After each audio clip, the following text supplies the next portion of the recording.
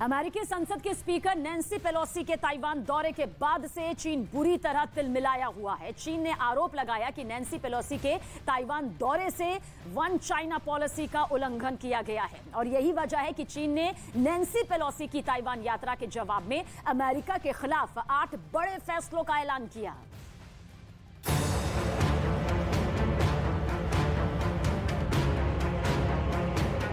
Nancy Pelosi की Taiwan यात्रा के बाद अब तक जितने भी घंटे बीते हैं, वो ताइवान के आसमान में चीन की लगातार हाहाकारी धमक के संकेत दे रहे हैं।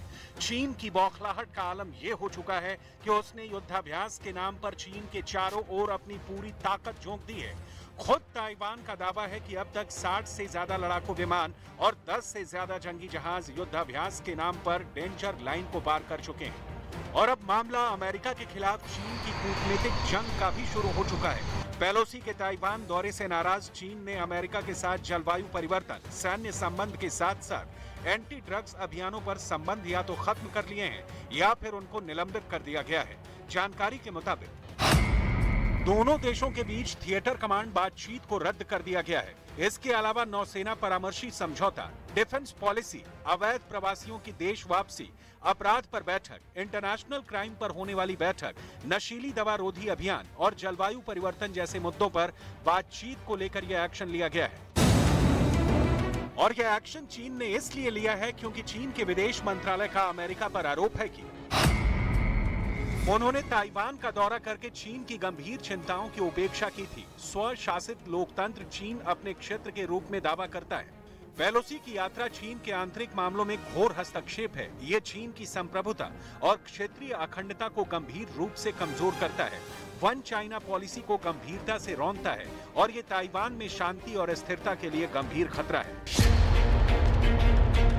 और आइए अब आपको समझाते हैं कि आखिर जिस वन चाइना पॉलिसी का चीन हवाला दे रहा है, वो है क्या? दरअसल, वन चाइना पॉलिसी चीन के विस्तारवाद का हथियार है। इसके तहत दुनिया ताइवान को चीन का हिस्सा मानेगी। पॉलिसी के तहत कोई ताइवान से सीधे रिश्ते नहीं रखेगा, जबकि ताइवान वन चाइना पॉलिसी के खिलाफ है। इस मामले में अमेरिका ताइवान के साथ खड़ा है। और इसी बात से चीन भड़का हुआ है। इसका असर ये हो रहा है कि चीन लाइव फायरिंग नाम के युद्धाभ्यास के ज़रिए ताइवान समेत अमेरिका को आँखें दिखाने की कोशिश में जुटा हुआ है। चीन के सरकारी मीडिया के मुताबिक ये मिलिट्री ड्रिल ताइवान के तट से सिर्फ़ 16 किलोमीटर दूर की जा रही है। इसमें असली हथियारों और गोला बारूद का इस्तेमाल किया जा रहा है। चीन पहले ये ड्रिल ताइवान से करीब 100 किलोमीटर दूर करता था, लेकिन नैन्सी पेलोसी के दौरे के बाद अब बेहद नज़दीक पहुँच गया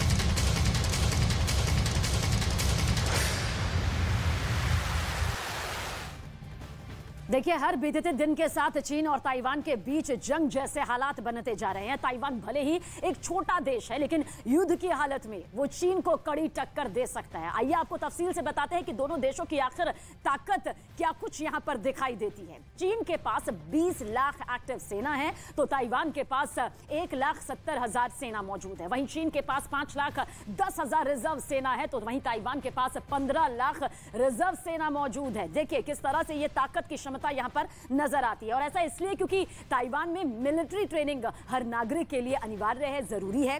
चीन के पास 1200 फाइटर प्लेन है तो वहीं ताइवान के पास दो फाइटर्स प्लेन मौजूद हैं। चीन के पास 912 हेलीकॉप्टर्स हैं तो वहीं ताइवान के पास में 208 की संख्या में हेलीकॉप्टर्स मौजूद है। यहाँ पर पलड़ा जरा नीचे नज़र आता है, और जहाँ तक अटैक हेलीकॉप्टर की बात है तो चीन के पास दो सौ इक्यासी की संख्या में है, और ताइवान के पास महज इक्यानवे अटैक हेलीकॉप्टर मौजूद है। चीन के पास 5,250 टैंक है तो ताइवान के पास 1110 टैंक मौजूद हैं। वहीं चीन के पास 35,000 बख्तर बंद गाड़ी है तो ताइवान के पास ज़िक्र करें तो 3,472 बख्तर बंद गाड़ियाँ मौजूद हैं।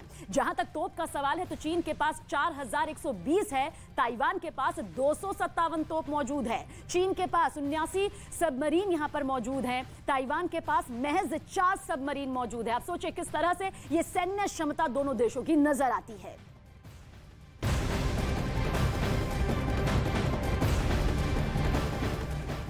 आज़ादी के अमृत महोत्सव पर हर घर तिरंगा अभियान चलाया जा रहा है। ऐसे में लोगों को इस अभियान से जोड़ने के लिए कई प्रयास किए जा रहे हैं। देश की शान है वो, अपनी पहचान है वो, जिसके लिए कई कुर्बान हुए।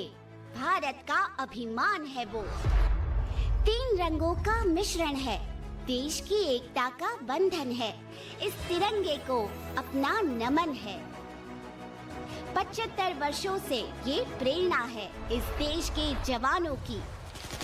जिन्होंने अपने बेटे दिए साक्षी है उन माओ के बलिदानों की। अब अगले 25 वर्षों तक हमारा ये प्रण रहे। आँखों में तिरंगा और दिल में वतन रहे। जब हम 100 वर्ष आज़ादी के मनाएँ, तो भारत संपूर्ण आत्मनिर्भर हो जाए। इसीलिए मोदी जी की इच्छा है। हर वो भारतीय जो सच्चा है। तेरह से पंद्रह अगस्त तक अपने अपने घरों की छत पर बजाए देश का डंका लहरा के ये तिरंगा।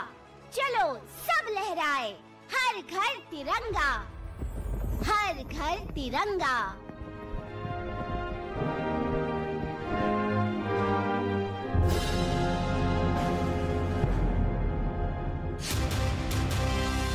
चैनल जो है, आपके भरोसे पर उतरने में नंबर वन नंबर वन सच की राह पर चलने में। आपके लिए लड़ने में नंबर वन नंबर वन आपकी आवाज़ बनने में। जिसके पास है एंकर की टीम नंबर वन जो है राजनीति के खेल से लेकर